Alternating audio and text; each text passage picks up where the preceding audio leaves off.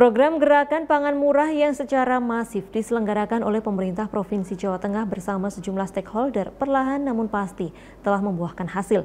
Sejak awal Januari hingga 1 April 2024, kegiatan GPM sudah terlaksana sebanyak 150 kali di sejumlah kabupaten kota di Jawa Tengah.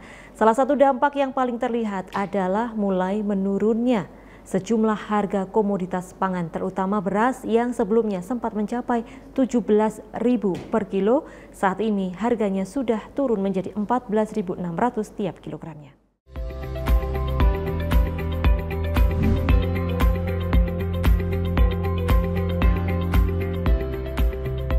Penjabat Gubernur Jawa Tengah Komjen Pol Purnawirawan Dr. Andes Nana Sujana ASMM menghadiri acara Gerakan Pangan Murah GPM serentak tiga wilayah Jawa Tengah di halaman Balai Kota Semarang pada Senin 1 April 2024. GPM merupakan salah satu upaya untuk mengendalikan harga kebutuhan pokok di tengah meningkatnya konsumsi masyarakat pada bulan Ramadan.